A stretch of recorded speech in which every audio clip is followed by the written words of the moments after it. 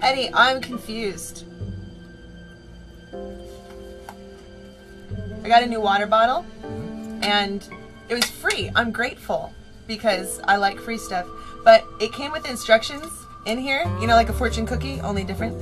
And um, I understand number one. Point one says hand wash only in soapy water, warm soapy water before and after use. I, I understand that. Number two, it says do not immerse or soak in water.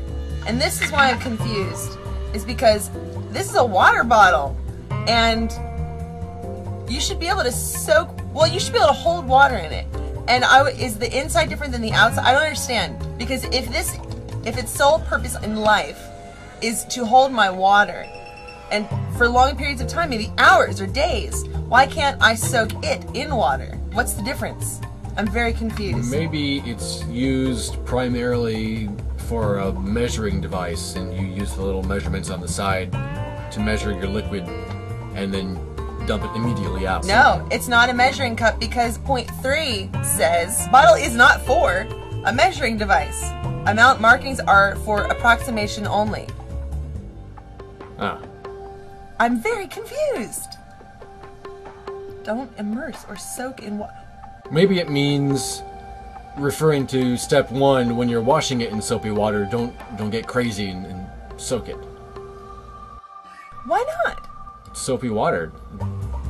There. That's the first thing I do when I get a plastic thing that I have not used yet from a store or somewhere that I don't know where it's been. I might soak it in warm soapy water.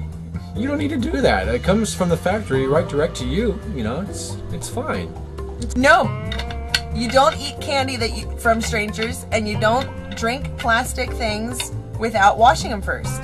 Well, I think as a general rule, you should never drink plastic things. I just don't understand. It's a water bottle. I can, I will, I, I can understand point one and three, but two, do not immerse or soak in water. It's a water bottle. I should be able to lose this thing over the side of a kayak, and it should be fine. You know what? They probably say don't immerse it because if the outside would get wet, it might wash off the uh, the cool CMI logo. They should say something about because the logo, I don't know, might rubber scratch off or something.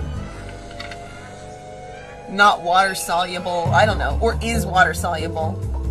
Are you still going to use it?